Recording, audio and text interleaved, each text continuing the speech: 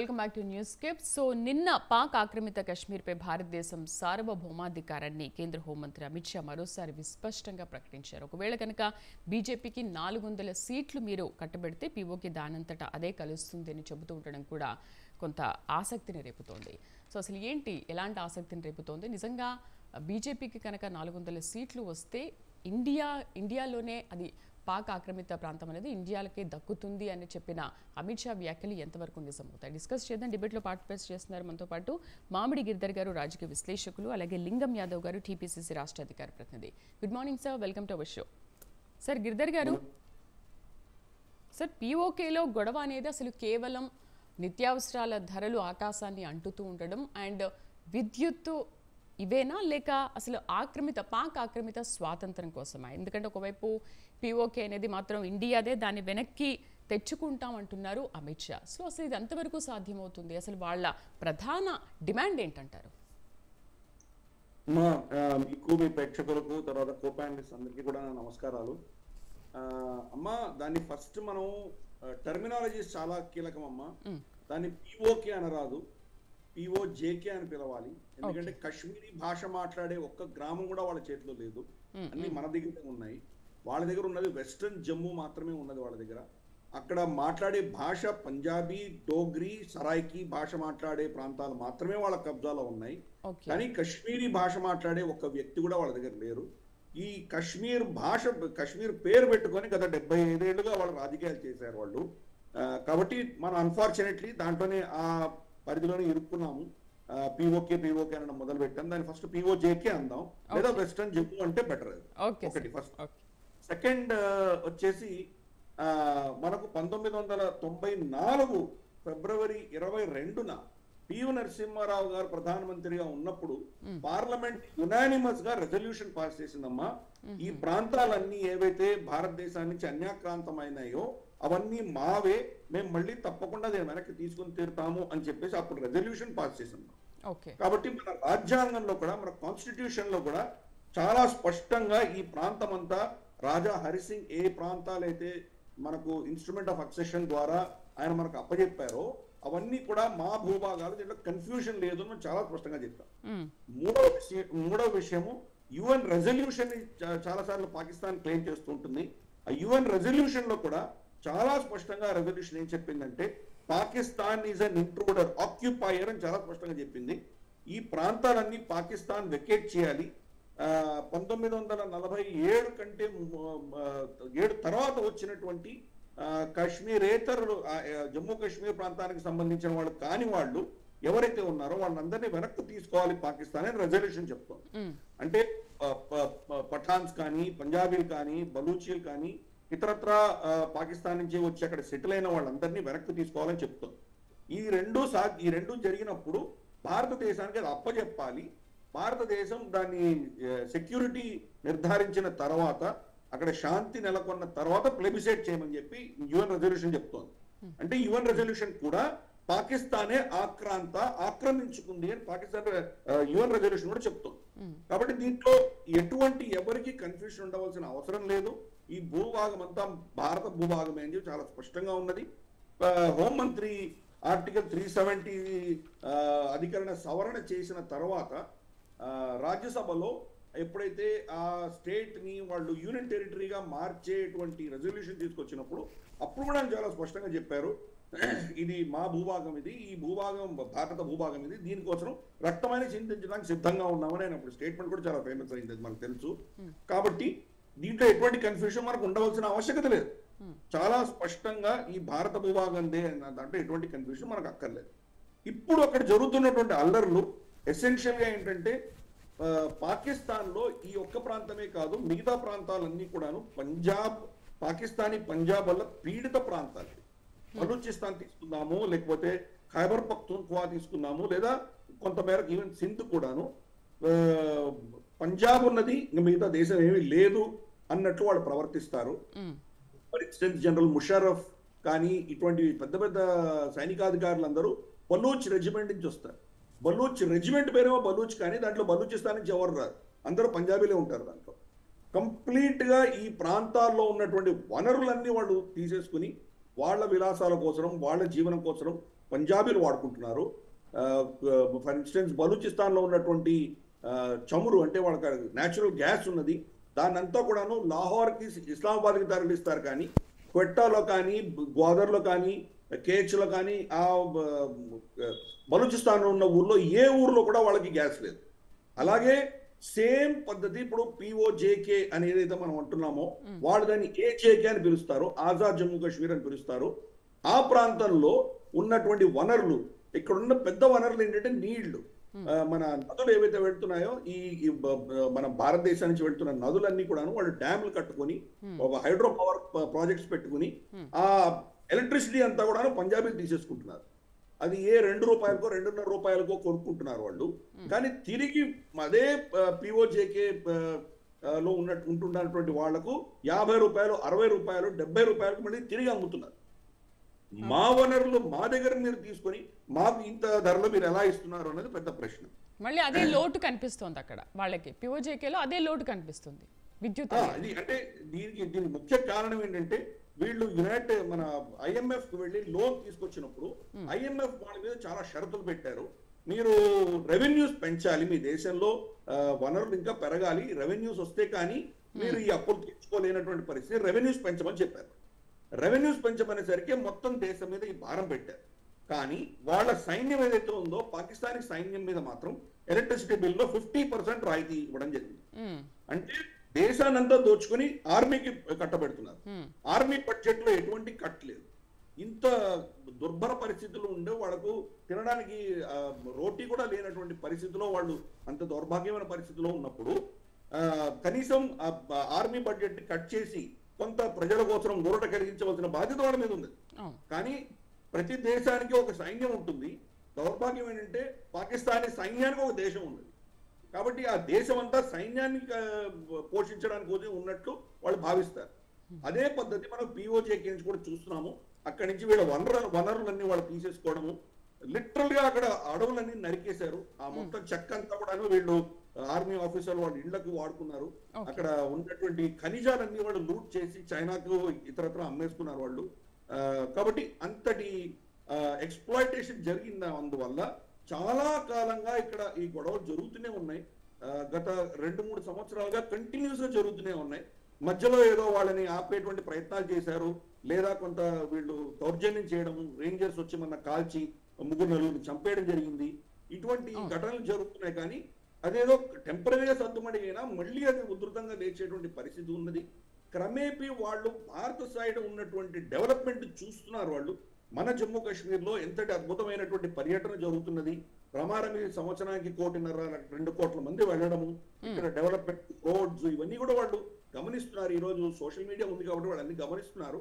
కాబట్టి వాళ్ళలో ఏదో ఒక విధమైన ఆందోళన అఫీషియల్గా వాళ్ళు మేము భారతదేశంలో విలీనం అవుతామని చెప్తే కనుక దేశ ద్రోహ చట్టం కింద వాళ్ళని అరెస్ట్ చేస్తారు కానీ కాబట్టి వాళ్ళు కూడా కోరుకుంటున్నారు కదా సార్. వాళ్ళు కూడా కోరుకుంటున్నారు. మీరు మమ్మల్ని రక్షించండి మమ్మల్ని నిర్లక్ష్యం చేయొద్దు అంటూ. కరెక్ట్ కరెక్ట్ కానీ బట్ అలా డైరెక్ట్గా అంటే వాళ్ళని దేశ విద్రోహ చట్టం కింద అరెస్ట్ చేస్తారన్న భయంతో డైరెక్ట్గా చెప్పకుండా వాళ్ళు ఆజాదీ ఆజాదీ అని అరుస్తున్నారు. దాంట్లో కొంతమంది ఇంకా ధైర్యం చేసి మేము భారతదేశంలో విలీనం అవుతామని చెప్తున్నారు మాకు ఆస్తి అయినా ఇవ్వండి లేదా మేము భారత్లో విలీనం అవుతామని కొంతమంది చెప్తున్నారు. ఇంకొన్ని నినాదాలు ఏంటంటే ఆర్ పార్ జోడ్దో కార్గిల్ రాస్తా ఖోల్దో అని చెప్పి సర్దూలు వాళ్ళు క్లెయిమ్ చేస్తున్నారు. మనకు గత కాంగ్రెస్ ప్రభుత్వం ఏం చేసిందంటే సున్నీ ప్రాంతాలకు మాత్రమే వీళ్ళు trans line of control trade పెట్టారమ్మా. ఒకటి పుచ్ రావ్లా కోర్టు తర్వాత ఇంకొకటి ఊడి చకోటి. ఈ రెండు కూడా సున్నీ మెజారిటీ ఏరియాస్. కానీ షియా మెజారిటీ ఏరియా ఉన్నటువంటి గిల్గిట్ బాల్టిస్తాన్కి వీళ్ళు అప్పుడు పాకిస్తాన్ వాళ్ళు ఆఫర్ చేయలేదు. కాంగ్రెస్ ప్రభుత్వం కూడా దాని గురించి ఏం పట్టించుకోలేదు. ఉమ్, కార్గిల్ వచ్చేసి కర్దూకి యాక్చువల్గా ఉండవచ్చింది కాబట్టి షియాలు డిమాండ్ చేస్తున్నారు. అలాగే మనకు ఇటు సైడ్ ఉన్నటువంటి హిందువులు శారదా మందిరానికి వెళ్ళడానికి మాకు కారిడార్ కావాలని డిమాండ్ చేస్తున్నారు. వీళ్ళందరినీ ఇగ్నోర్ చేసి ఒక సున్నీలకు మాత్రమే గతంలో ఈ వెసులుబాటు ఉండేది. కాబట్టి ఇవన్నీ కూడాను అక్కడ పరిస్థితులన్నీ కూడాను క్రమేపీ క్షీణించడంతో ఇప్పుడు అది పాకిస్తాన్ కంట్రోల్ రమారమి చేయి జారిపోతున్నటువంటి పరిస్థితి. ఆల్రెడీ బలూచిస్తాన్ వాళ్ళు చేయి జారిపోయింది. ఖైబర్ పఖ్తూన్ఖా మోరర్లెస్ పోయింది. టీటీపీ కావచ్చు లేదా మనకు పాకిస్తాన్ తెహఫూజ్ మూవ్మెంట్ అని పీటీఎం అని చెప్పేసి వాళ్ళు వీళ్ళందరూ కూడాను ఆ ఆ, ఖైబర్ పఖ్తూన్ఖా ప్రాంతం అంతా కూడా అతలాకుతలం అయిపోయింది నిజంగా అక్కడ గవర్నమెంట్ ఆర్మీ కంట్రోల్ లేదు. రమారమి ఈ రెండు ప్రాంతాల్లోనూ బలూచిస్తాను ఖైబర్ పఖ్తుంక్వాలను రోజుకి ఒక ఐదారు మంది సైనికులు చనిపోతున్నారు. ఆల్మోస్ట్ యావరేజ్గా. ఆ, ఇంకా ఇక్కడ పిఓజేకేలో ఆర్మ్డ్ స్ట్రగుల్ మొదలవ్వలేదు. ఇప్పుడు డెమోక్రటిక్గా మొదలు పెట్టారు శాంతియుతంగా చేస్తున్న వాళ్ళ మీద వీళ్ళు ఫైరింగ్ చేశారు. అప్పుడు వాళ్ళు అఫ్ కోర్స్ క్రౌడ్ ఇంకా రెచ్చిపోయి ఆ కమిషనర్ని వాళ్ళు బట్టలు కూడా తీసి అతని బట్టల్ని మన సిటీ సెంటర్లో తగలబెట్టి దాన్ని వేలాడేశారు. కాబట్టి అక్కడ ఒక విధమైనటువంటి విస్తృతమైనటువంటి జ్వాలలు రేగుతున్నాయి. దాన్ని సర్దుమణించే దిశగా ప్రభుత్వం అర్జెంటుగా some eighty six million dollars సంబంధించినటువంటి ఒక గ్రాంట్ ఇష్యూ చేయడం జరిగింది అది. అది కొన్ని వారాల వరకు మాత్రమే పనిచేస్తుంది. దాని తర్వాత పరిస్థితి ఏంటి? వాళ్ళ గత బడ్జెట్లో పిఓజేకి సంబంధించి బడ్జెటరీ అలొకేషన్ కూడా జరగలేదు. ఇటువంటి పరిస్థితుల్లో అక్కడ వేర్పాటువాదాలు అందాము ఆజాదీ జ్వాలలు అందాము మన రా- మన సైడ్ ఉన్నటువంటి జమ్మూ కాశ్మీర్లో ఒకప్పుడు ఎటువంటి పరిస్థితి ఉండేదో ఈ రోజు అక్కడ అదే పరిస్థితి ఉందమ్మా. మన దగ్గర పిల్లలు రాళ్ళు పట్టి ఎలాగైతే కొట్టేవాళ్ళో ఇప్పుడు అక్కడ అదే రాళ్ళు పట్టుకొని వాళ్ళు కొడుతున్నారు. పాకిస్తాన్ జెండాని దించి పడేస్తున్నారు వాళ్ళు. మన దేశం మన సైడ్ కూడా లాల్ చౌక్లో ఆ, పాకిస్తానీ జెండా ఎగరేసిన రోజులు ఉన్నాయి. ఈ రోజు అక్కడ స్వతంత్ర దేశ స్వతంత్రోత్సవం రోజు మన ఇండిపెండెన్స్ డే కావచ్చు రిపబ్లిక్ డే రోజు కావచ్చు మన జెండా ఎగరేసి పిల్లలందరూ నాట్యం ఆడి అక్కడ. చాలా అద్భుతమైనటువంటి వాతావరణం ఈరోజు శ్రీనగర్లో మనం చూస్తున్నాము. దీనికి జస్ట్ ఆపోజిట్ అక్కడ ఈరోజు మనం అక్కడ చూస్తున్నాము. కాబట్టి ఆ, హిలరీ క్లింటన్ చెప్పినట్లు మీ మీ పెరట్లో పాములు పెంచుకుంటే ఆ పాములు మిమ్మల్నే కాటేస్తాయి అనడం ఇది ఈరోజు చూస్తున్నాము. ఆ ప్రాంతం అంతా కూడాను టెర్రరిస్ట్ తన్జీమ్లను పెట్టారు వాళ్ళు అక్కడ వాళ్ళ పిల్లల్ని మానవంగాలు చేయడము వాళ్ళని అక్కడ చాలా చిత్రహింసలు పెట్టినటువంటి పరిస్థితి. కాబట్టి పంజాబీలకు వ్యతిరేకంగా పెద్ద ఎత్తున నినాదాలు ఉద్యమాలు అక్కడ జరుగుతున్నాయి. కానీ ఇది ఇమ్మీడియట్గా భారత దేశంలో విలీనం అవ్వడానికి అని మనం ఇమ్మీడియట్గా అనడానికి వీల్లేదు. లోపల వాళ్ళకి భావం ఉన్నా కానీ కూడా ఎక్స్ప్రెస్ చేసేవాళ్ళు చాలా తక్కువ మంది ఉన్నారు. కానీ తప్పకుండా పాకిస్తాన్లో మాత్రం మేము ఉండము ఉన్నటువంటి అక్కడ భావజాలం మనకు వినపడుతుంది. రైట్ లింగం యాదవ్ గారు నమస్తే అండి. నమస్తే అండి. యాదవ్ గారు పీఓకేపై మాట్లాడుతున్న కొద్దీ బెంగాల్ ప్రజల నుంచి భారీ రెస్పాన్స్ వస్తుంది. ఎందుకంటే సభలు సమావేశాలు పెట్టిన కొద్దీ అమిత్ షా మాట్లాడినప్పుడు కూడా పీఓకే ప్రజల నుంచి మంచి రెస్పాన్స్ కూడా వస్తుంది. మమతా దీది రాహుల్ బాబా మీరు భయపడితే భయపడండి కానీ పీఓకే మాత్రం ఇండియాదే వెనక్కి తెచ్చుకుంటామని మాట్లాడుతున్నారు. బీజేపీ నేతలు. ముందుగా స్వతంత్ర టీవీ ప్రేక్షకులకు మరి అదేవిధంగా మీకు కో ప్యానలిస్ట్ అందరికీ నమస్కారం అండి.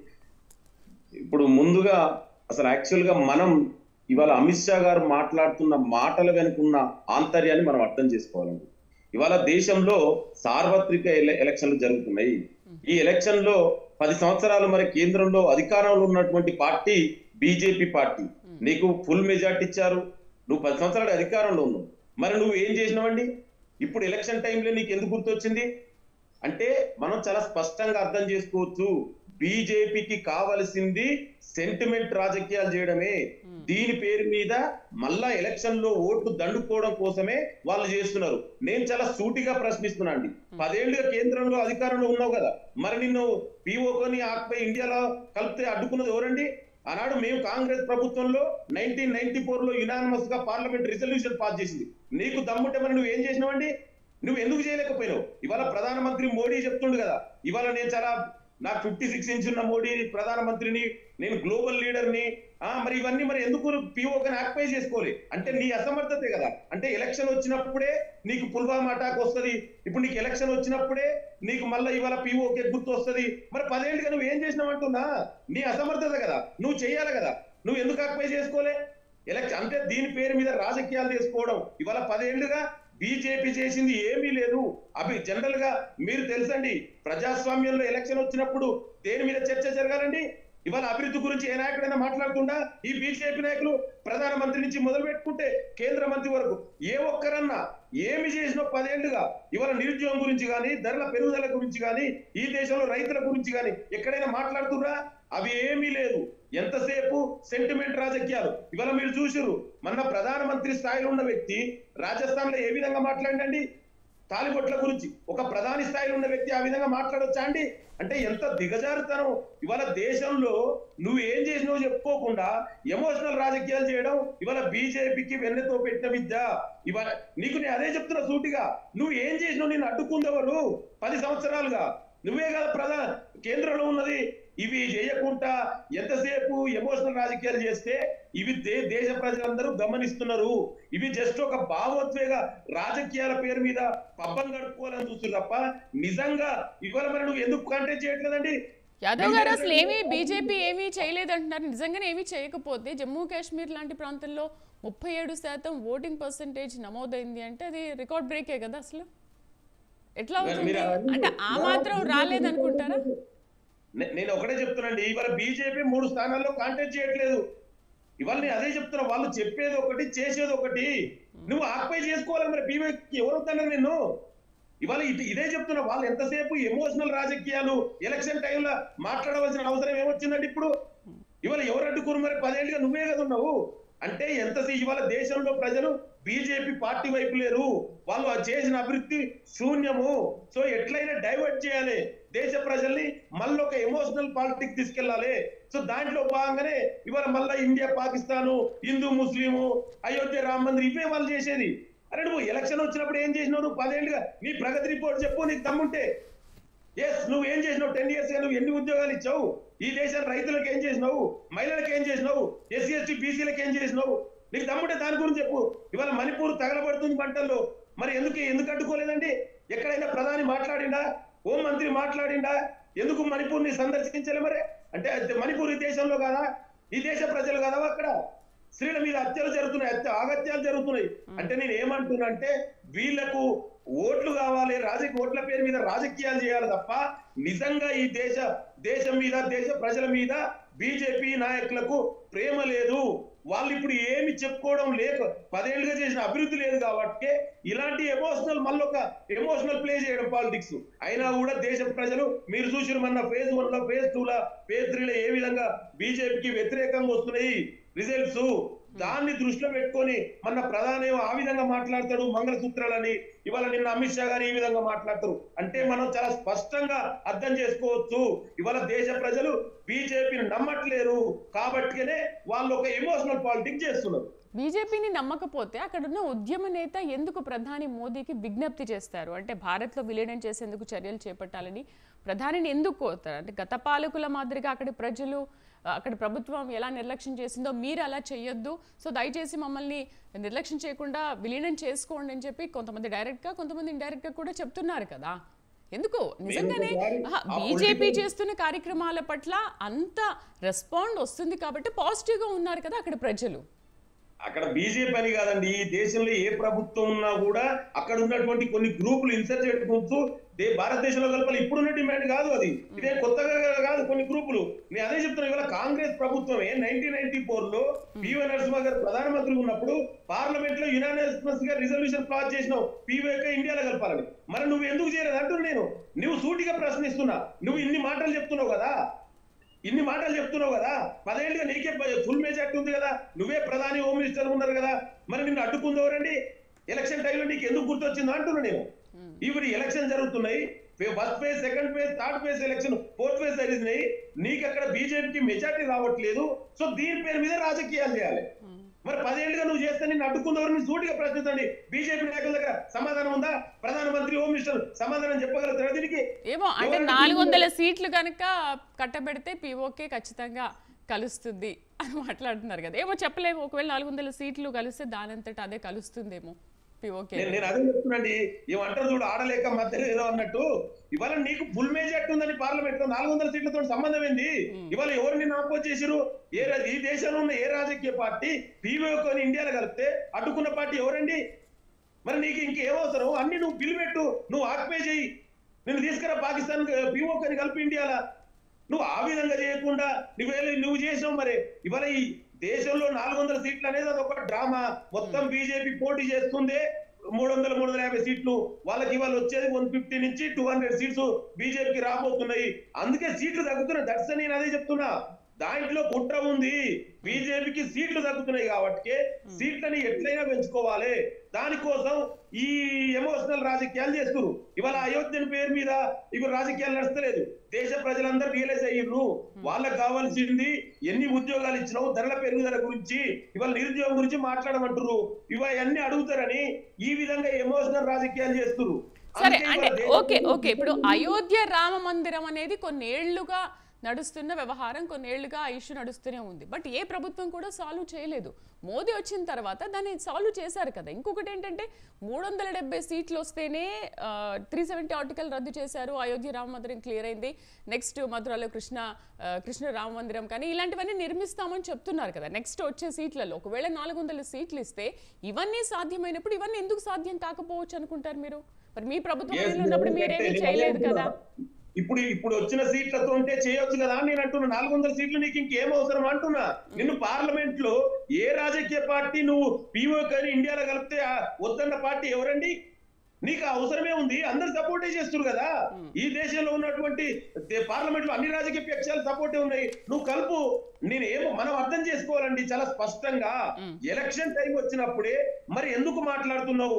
గత పదేళ్ళుగా నువ్వు అధికారంలో ఉన్నావు కదా. మరి నువ్వు ఎందుకు పీఓకని ఇండియాలో కలపాలని? ఈ పీఓకని ఎందుకు ఆక్యుపై చేయలే? దాని గురించి ఎందుకు నువ్వు మాట్లాడలే?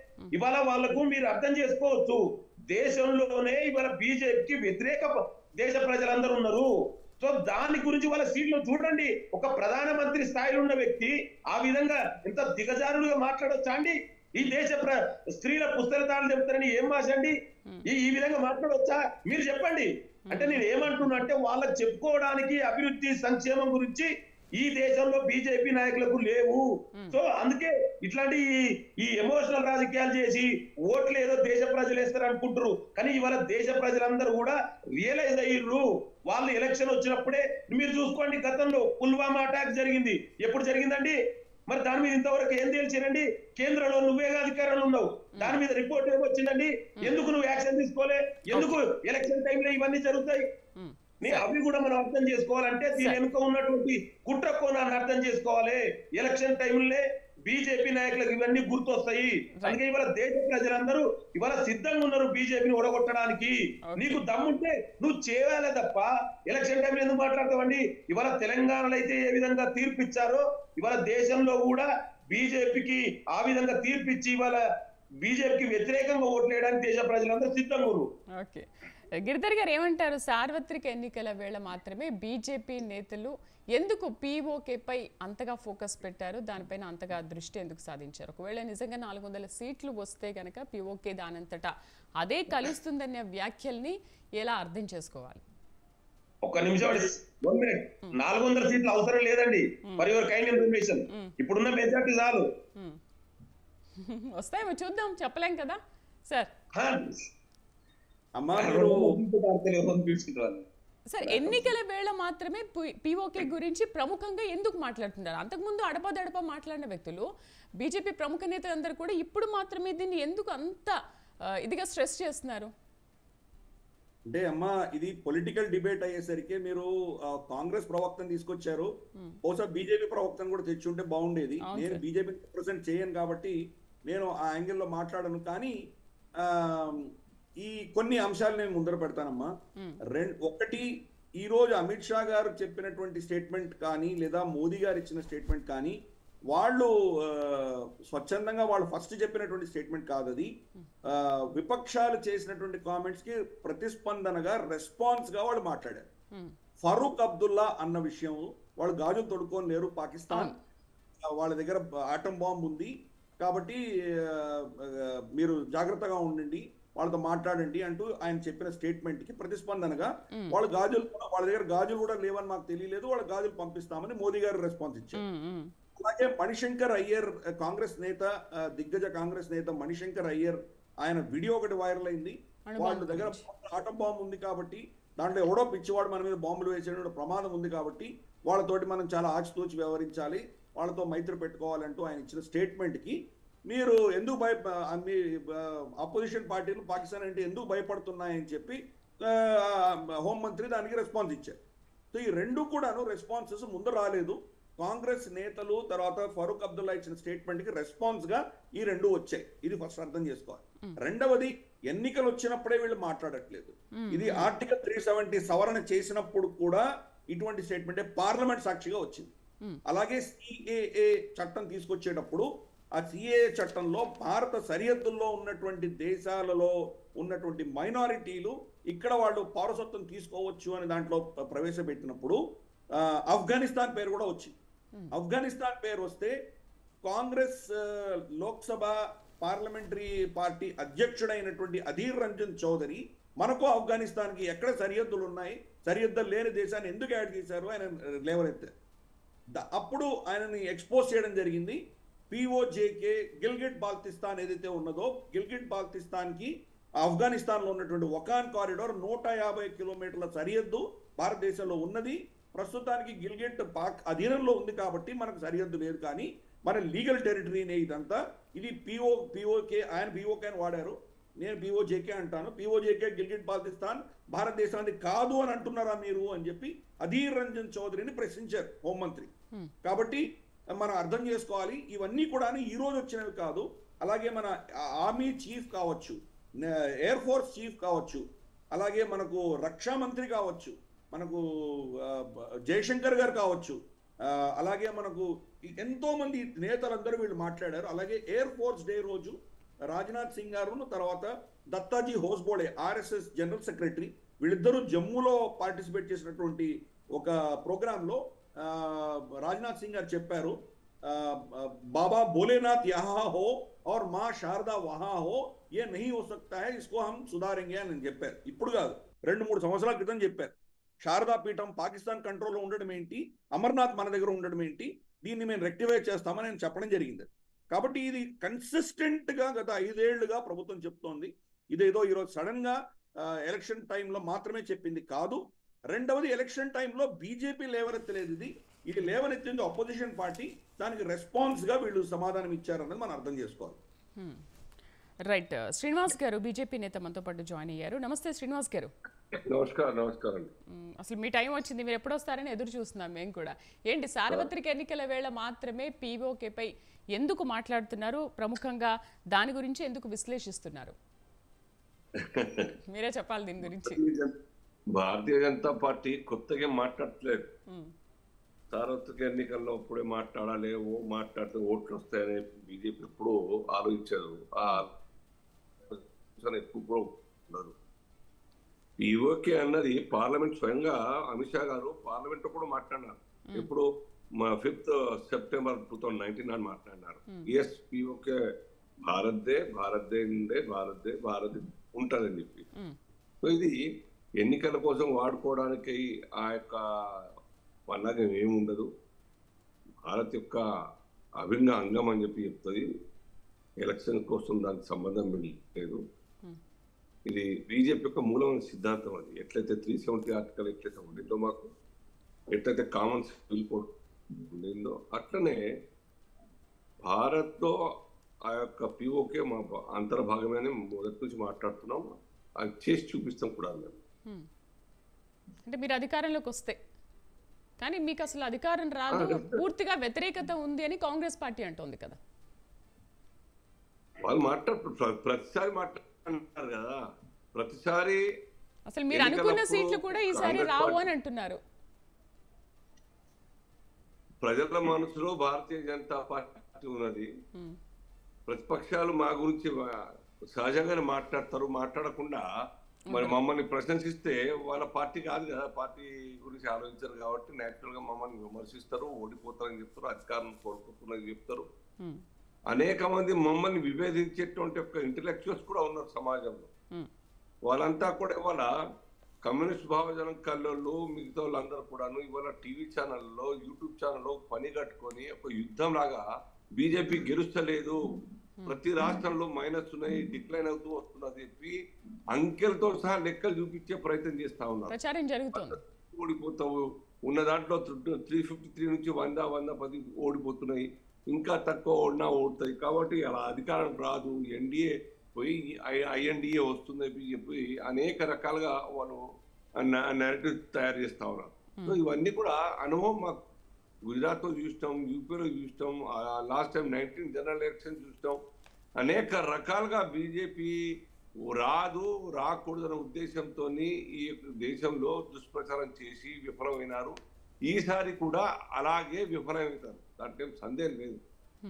లాస్ట్ టైం కన్నా ఇంకా ఎక్కువ పనులు చేస్తున్నాం మ్హూ. ప్రజలు ఈసారి ప్రతి మహిళ మనసులో భారతీయ జనతా పార్టీ ప్రతి ఓల్డ్ ఏజ్డ్ పర్సన్ ఓటర్ మనసులో బీజేపీ ఉంది యూత్ కూడా బీజేపీ ఈ పెద్ద సెక్షన్స్ కదా యూత్ ఫార్టీ పర్సెంట్ ఉంటుంది. ఫిఫ్టీ పర్సెంట్ మహిళలు ఉన్నారు. ఎట్లా గెలుస్తాయి వేరే పార్టీలు చెప్పండి. మీరు కథలు అల్లినంత మాత్రాన భారతీయ జనతా పార్టీకి వ్యతిరేకంగా మరి బీజేపీ ఓడిపోతుందా ప్రజల మన గుండెల్లో కూర్చున్నది బీజేపీ. దేశం బాగుంటాడట దే- మోదీ ఉంటేనే కాబట్టి దానికేస్తాం బిడ్డ అని చెప్పేసి నాకు అనేక మంది టీఆర్ఎస్ నాయకులు చెప్పినారు ఇంటింటికి పోతే మాకు పోబుద్ది అయితలేదు ఈ రకంగా మాట్లాడుతున్నారు. ఏమయ్యా అన్న లక్కి మీది అని చెప్పి. రూపాయి ఖర్చు లేకుండా బీజేపీ గెలుస్తుందని చెప్పి. అంత నాటుకుపోయింది మోదీ గారి యొక్క పరిపాలన. ప్రజ ప్ర- ప్రజలకు కావాల్సింది ఫస్ట్ ప్రాణ రక్షణ ఉమ్, తన తనని కవచంలాగా ఉండి రక్షిస్తున్నాడు మోదీ అని చెప్పేసి మనసులోకి వచ్చిన తర్వాత. తన ఆస్తులు తన ప్రాణం అల్టిమేట్లీ దేశం ఈ రక్షింపబడితేనేగా తర్వాత ఏ రకంగా జీవించాలన్నది. ఆ రకంగా జీవించే అవకాశాన్ని అటువంటి ఒక సంక్షేమ పథకాన్ని కూడాను మోదీ గారు అందిస్తా ఉన్నారు. ఈ రకంగా మోదీ మీకు బాగా నమ్మకం ఉంది? అదేనా మీకు నమ్మకం? పీవేజేకేలో తలెత్తిన ప్రజాగ్రహ 100%. వాతావరణం కానీ ప్రజల్లో వస్తున్న వ్యతిరేకత పట్ల మీరు డైరెక్ట్గా ఇండైరెక్ట్గా కూడా విలీనం చేసుకోండి అంటున్న మాటలేనా? మీలో ఆ ఉత్సాహాన్ని ఉరగలెత్తిస్తోంది? మా మా లక్ష్యం అది డెఫినెట్ లక్ష్యం. ఎందుకు? మా మన ప్రాంతం కాదా ఎవరైనా పక్కి పక్కింటి ఆయన పక్క పొలమైన కబ్జా చేసుకుంటే మనం వదిలేస్తామా? ఉమ్, ఈ రోజు కాకుండా నాలుగు రోజులకన్నా కానీ మాటతో కాకుండా కోర్టుకు పోతాం. It may take some time కానీ అల్టిమేట్గా అది మనదే మా- మాది కావాల్సిందే మనది కావాల్సిందే. కబ్జా గురైనటువంటి ల్యాండ్ వదిలేము ఇది కూడా అంతే కదా.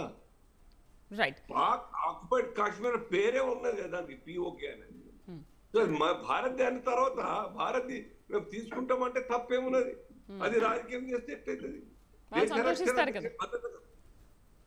రైట్. యాదవ్ గారు కాంగ్రెస్ హయాంలో కాశ్మీర్లో ఎలాంటి పరిస్థితులు ఉండేవి? ఇప్పుడు పీఓజేకేలో కూడా అలాంటి పరిస్థితులే ఉన్నాయని పాక్ సైన్యాన్ని కానీ పాక్ ప్రభుత్వాన్ని కానీ అక్కడ ప్రజలు నొక్కించి మరీ ప్రజలు కడిగి పారేస్తున్నారని బీజేపీ నేతలు అంటున్నారు. నిజంగా అప్పటి పరిస్థితులు ఉన్నాయి కాబట్టి సేమ్ రిపీట్ అవుతున్నాయి అనుకోవచ్చా ఇప్పుడు? ఇవాళ మనం ముందుగా ఒకటి అర్థం చేసుకోవాలండి. ఇవాళ దే భారతదేశానికి ఆ రోజు పాకిస్తాన్ ఎన్ని విధాలుగా ఏ విధంగా అడ్డంకులు సృష్టిస్తే ఆనాడు ప్రధానమంత్రిగా ఉన్నటువంటి ఇందిరాగాంధీ గారు పాకిస్తాన్ని రెండు ముక్కలుగా చేసి బంగ్లాదేశ్గా ఏర్పాటు చేసిందే కాంగ్రెస్ పార్టీ ఆధ్వర్యంలో. ఆనాడు అదే బీజేపీ నాయకులు అప్పుడు ఉన్నటువంటి వాజ్పేయి గారు ఇందిరాగాంధీ గారిని అపరకాలికగా బెంగాల్ అపరకాలికగా పోయినటువంటి వ్యక్తులు. ఇవాళ మీరు అదర్థం చేసుకోవాలి. కాంగ్రెస్ పార్టీ ఈ దేశంలో ఈ దేశం కోసం అవసరమైనప్పుడల్లా ప్రాణత్యాగం చేసినటువంటి పార్టీ కాంగ్రెస్ పార్టీ. ఈ దేశానికి ఇవాళ మీరు చూడండి బీజేపీ ఏం చేసిందండి? ఇవి- ఇవన్నీ మీరు ఇప్పుడు చెప్పేదన్నీ కూడా ఇప్పుడు కొంతమంది బీజేపీకి సంబంధించినటువంటి కొన్ని మీడియా సంస్థలలో ఇప్పుడు మరి దమ్ముంటే బీజేపీ ఎందుకు కాశ్మీర్లో పోటీ చేస్తలేదండి? ఆరు సీట్లలో మూడు సీట్లలే కాంటెస్ట్ చేస్తుంది. మరి దానికి సమాధానం ఏం చెప్తారు? ఇవన్నీ కూడా వాళ్ళు కావాలనుకొని ఏదో బురద తలుతురు అయినా కూడా ఈ దేశం కోసమే కాంగ్రెస్ పార్టీ పుట్టింది. ఈ దేశం కోసమే కాంగ్రెస్ పార్టీ ప్రాణత్యాగం చేసింది. ఈ దేశానికి ఎప్పుడు అవసరం వచ్చినప్పుడల్లా కూడా ప్రాణత్యాగం చేయడానికి సిద్ధంగా ఉన్న పార్టీ కాంగ్రెస్ పార్టీ. మీరు ఈ విధంగా మీకు దమ్ముంటే మీరు ఏం చేసిరో చెప్పకుండా ఏదో వేగ్గా బురద తలితే ఈ దేశ ప్రజలు ఎవరు కూడా క్షమించరు. నేను అదే సూటిగా ప్రశ్నిస్తున్నా. ఈ దేశం కోసం ప్రాణత్యాగం చేసినటువంటి బీజేపీలో ఎవరు చేశారండి? ఈ బీజేపీకి మూల సిద్ధాంతమైన పార్టీ అయిన ఆర్ఎస్ఎస్ కానీ అంత ముందుకున్న హిందూ మహాసభ కానీ ఇవ ఎవరండి వాళ్ళు? ఈ దేశం కోసం జనసంఘాన్ని ఎవరైనా త్యాగం చేసిరా? వీళ్ళు ఇవాళ మళ్ళా కొత్తగా వచ్చి ఏదో మాట్లాడి ఇట్లాంటి బురద వెళ్తే అందుకే దేశ ప్రజలు ఎవరు కూడా వాళ్ళని క్షమించరు. మీకు దమ్ముంటే మీరు చేసి చూపెట్టండి. నువ్వు పదేళ్ళుగా అధికారం నువ్వేం చేసినావు చెప్పకుండా ఇప్పుడు వస్తే నేను నాలుగు వందల సీట్లు వస్తే చేస్తా. ఇవన్నీ కూడా వేగ్గా మాట్లాడుతున్నారు. అందుకే ఎవ్వరు కూడా ఇప్పుడు నమ్మరు. అసలు వాళ్ళకు వన్ ఫిఫ్టీ నుంచి టూ హండ్రెడ్ సీట్సే రావట్లేదు. సీట్లు ఇవాళ దేశ ప్రజలు వాళ్ళు నమ్మట్లేదు కాబట్టినే ఇట్లాంటి కొత్త ప్రచారాలు. ఇవాళ వాళ్ళు చెప్తున్నారు కదా మీరు పదేళ్ళు ఎందుకు చేయలేదండి? ఎవరు అడ్డుకురు నేను చాలా స్ఫూర్తిగా ప్రశ్నిస్తున్నా. ఇన్ని మాటలు చెప్తున్నారు కదా ఎలక్షన్ టైంలా. ఇవాళ నీకు అదే చెప్తున్నాను ఇంత ముందు కూడా చెప్పిన పుల్వామా అటాక్ ఎలక్షన్ టైంలో గుర్తొస్తుంది. ఇవాళ ఇండియా పాకిస్తాన్ పిఓకే ఎలక్షన్ టైంలో గుర్తొస్తుంది. అరే నువ్వు ఈ దేశంలో నిరుద్యోగం గురించి ఇవాళ మాట్లాడుతూ బీజేపీ నాయకులు. ఇవాళ నిరుద్యోగం ఈ దేశ స్థాయిలో ఎంత ఉందండి? సిక్స్టీ ఫైవ్ పైగా ఎబవ్ ఉంది. నిరుద్యోగం గురించి ఎన్ని ఉద్యోగాలు కల్పించారండి? ఇవాళ మేము ఇచ్చిన ఆ రోజు ప్రభుత్వ ప్రభుత్వ రంగ సంస్థలన్నీ కూడా ఇవాళ అమ్ముతున్నారు. ఇవాళ ధరల పెరుగుదల ఏ విధంగా ఉందండి? ఇవాళ మహిళలు ఇవాళ వంట వండాలంటే గ్యాస్ రేట్ ఎంత ఉందండి? దాని గురించి ఎక్కడైనా మాట్లాడుతురా ఇవాళ మరి మణిపూర్లో మహిళని ఆ విధంగా రోడ్డుపై వివస్త్రాన్ని Right. చేసి ఊరేగిస్తుంటే ఎందుకు మాట్లాడలేదండి వీళ్ళు? శ్రీనివాస్ గారు ఏమంటారు? నల్ల చట్టాలు తీసుకొచ్చి ఈ దేశానికి అన్నం పెట్టే రైతుల మీద కాల్పులు జరుపుతున్నారు. మరి ఎక్కడైనా మాట్లాడారా ఈ బీజేపీ నాయకులు కేంద్ర మంత్రులు వీళ్ళకి ఇవి ఏర్పడతాయి ఈ నేను జనరల్గా మనకు తెలుసు ప్రజాస్వామ్యంలో ఎలక్షన్ వచ్చినప్పుడు దేని మీద చర్చ జరగాలండి. నువ్వు పదేళ్ళుగా అభివృద్ధి ఎన్ని చేసినావు? ఎన్ని ఉద్యోగాలు ఇచ్చావు. దాని గురించి ఎక్కడైనా ఏ బీజేపీ నాయకుడైనా ఒక్క నాయకుడు మాట్లాడుతుండా? ఎన్ని ఉద్యోగ పదేళ్ళలో ఎన్ని రెండు కోట్ల ఉద్యోగాలు ఇస్తున్నాడు. పదిహేను లక్షల అకౌంట్లు ఇస్తున్నాడు ఎక్కడ పోయినాయండి ఇవన్నీ? ఎవరికి వచ్చినాయండి? దేశ సంపద అంతా కూడా ఇవాళ అంబానీ ఆదాయం దోచిపెడుతుంది శ్రీనివాస్ గారు ఏమంటారు? నెక్స్ట్ నెక్స్ట్ వచ్చే గవర్నమెంట్లో అయినా ఇవన్నీ ఫుల్ఫిల్ చేస్తారా? మీరు చెప్పినవన్నీ అంటే అంతకు ముందు చేస్తామని చెప్పారు కానీ దాని గురించి ఎక్కడ ఏ ప్రచార సభల్లో ఈ పదేళ్ళలో ఎక్కడ మాట్లాడలేదు. బట్ నెక్స్ట్ అయినా వచ్చే ఎన్డీఏ అధికారంలో ఇవన్నీ చేసి తీరుతారా? ఇంకోటి ఒకప్పుడు రక్షణ మంత్రి రాజ్నాథ్ సింగ్ అన్నప్పుడు మంచుకొండల్లో ఉండే శివుడు మనవాడైనప్పుడు పీఓజేకేలో ఉండే శారదామాత మనది కాకుండా పోతుందా? నిజంగా ఎన్డీఏ అధికారంలోకి వస్తే అది సాధ్యమేనా? ఎందుకు సాధ్యం కాదండి? సంకల్పం దృఢంగా ఉండాలి తప్ప సాధించాలని ఒక ఆకాంక్ష ఉండాలా? ఆచరణ చేస్తే తప్పనిసరి సాధ్యమవుతుంది. పెద్ద విషయం కాదు. వాళ్ళకు కూడా తెలుసు పాకిస్తాన్ మనం భారత్ గనక ఒకసారి సంకల్పిస్తే అది పెద్ద మనం ఎదుర్కోలేం తట్టుకోలేం వాళ్ళతో ఫేస్ చేయలేం అనే విషయం తెలుసు. ఇది పెద్ద విషయంగా చేసి తీరుతాం ఇది.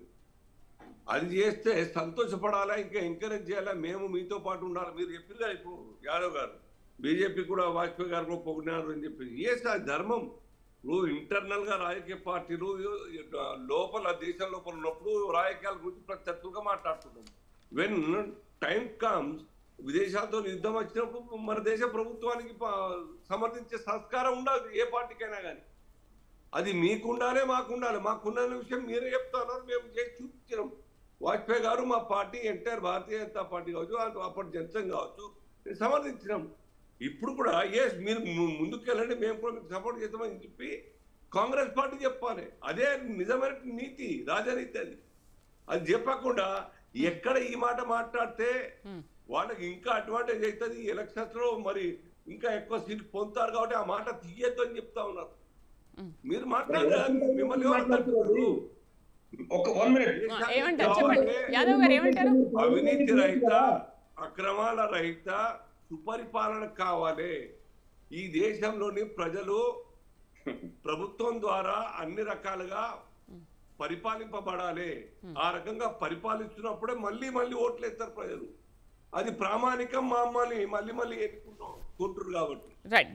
రాష్ట్రాల్లో రాష్ట్ర అసెంబ్లీ ఎన్నికలకు ఎన్నుకుంటా ఉన్నారు. మొన్ననే ఎన్ని- ఎన్నుకున్నారు? మూడు నాలుగు రాష్ట్రాల్లో. మధ్యప్రదేశ్ రాజస్థాన్ ఛత్తీస్గఢ్ రాష్ట్రాల్లో. సో ఇప్పుడు కూడా అదే జరుగుతాయి. మ్యాటర్ ఆఫ్ ఇంకో పది ఇరవై రోజులే కదా. మ్మ్, మ్మ్. Hardly 20 తెలుస్తుంది. ఎందుకు తొందర పడతారు? రైట్ రైట్ గిరిధర్ గారు ఫైనల్లీ మీ మెసేజ్ ఆ, ఇది పార్టీలు వస్తాయి పార్టీలు పోతాయి. ఎలక్షన్స్ అన్నవి మన దేశంలో రాజకీయాలు ఉంటాయి.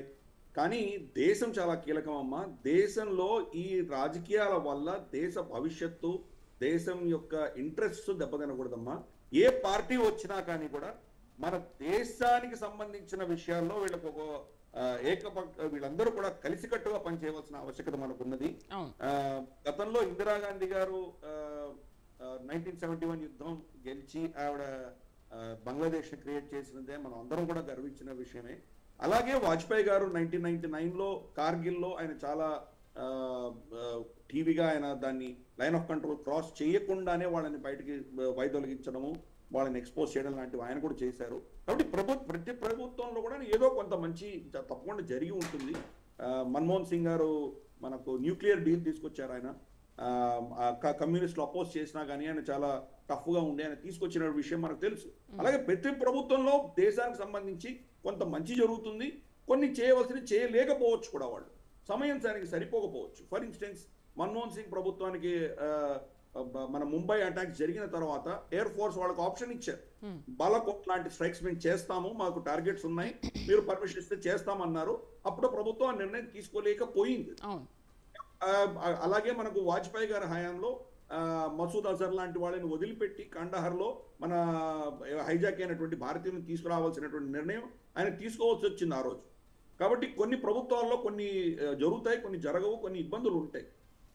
అందుకనే హోంమంత్రి గారు ఆ, ఇంటర్వ్యూలో చెప్పినటువంటి మాట ఏంటంటే సమయం వచ్చినప్పుడు తప్పకుండా వెనక్కి తీసుకుంటామని అన్నారు. సమయం ఎప్పుడు వస్తుంది అంటే మనం ఒక న్యూక్లియర్ పవర్ పాకిస్తాన్తో డీల్ చేస్తున్నాం. వాళ్ళని సమర్థిస్తున్నది ఇంకొక న్యూక్లియర్ పవర్ చైనా సమర్థిస్తుంది కాబట్టి అక్కడ పరిస్థితులు ఎంత క్షీణిస్తాయంటే దాన్ని నిలుపుకోలేనటువంటి పరిస్థితి పాకిస్తాన్కి వచ్చినప్పుడు పాకిస్తాన్ అన్న దేశమే ఉనికి లేకుండా కోల్పోయేటువంటి పరిస్థితి వచ్చినప్పుడు తప్పకుండా భారతదేశం దాన్ని మనం మళ్ళీ వెనక్కి తీసుకునేటువంటి అవకాశాలు మనకు వస్తాయి. ఇలా అంతవరకు మనం డిప్లొమాటిక్ ప్రెషర్. పెట్టడము మన దేశంలో ఒక విధమైనటువంటి పిఓజేకి తీసుకోవాలి అన్నటువంటి ఒక భావజాలం ఇంతవరకు లేదు. ఇప్పుడు దాని గురించి మాట్లాడుతున్నారు చర్చ జరుగుతోంది. కాబట్టి రాబోయే రోజుల్లో ప్రజలు భారత ప్రజలందరూ దాన్ని వెనక్కి తీసుకోవాలి అని మనలో ఒక విధమైనటువంటి నేరేటివ్ బిల్డ్ అవ్వాలి ఇంటర్నేషనల్గా బిల్డ్ అవ్వాలి ఇదంతా అయిన తర్వాత ఆర్మీ వెళ్ళడం లాస్ట్ ఉద్దేశం లాస్ట్ ఐటమ్ అది. అంతకంటే ముందర చేయవలసినవన్నీ ఈ వచ్చే థర్డ్ టర్మ్లో చేస్తారు అని. మనం ఎక్స్పెక్ట్ చేయొచ్చు. Right sir thank you very much Mamidi Giddar గారికి అలాగే లింగం యాదవ్ గారికి అల్జాపు శ్రీనివాస్ గారి డిబేట్లో పార్టిసిపేట్ చేసినందుకు థ్యాంక్ యూ అండి. సో మూడు వందల సీట్లు దాటితేనే త్రీ సెవెంటీ ఆర్టికల్ రద్దు చేశారు. అయోధ్య రామ మందిరాన్ని క్లియర్ చేశారు. ఒకవేళ నిజంగా బీజేపీ నాలుగు వందల సీట్లు దాటితే కనుక ఇప్పుడు కాశీలో విశ్వనాథుడు కానీ మధురాలో శ్రీకృష్ణుడు కానీ సిఏ అమల్లోకి తేవడం కానీ ఇవన్నీ సాధ్యం కాకపోతాయా? సో ఇంకొక పది పదిహేను రోజుల్లో ఈ విషయం తేలనుంది. అసలు ఎన్డీఏ నిజంగా అధికారంలోకి వస్తే ఇవన్నీ అమలు చేసి తీరుతుందా లేదా చూద్దాం. ఇది వాళ్ళ న్యూస్ కేఫ్ విత్ శ్రీదేవి. రేపటి న్యూస్ కేఫ్లో మళ్ళీ కలుద్దాం. Stay with.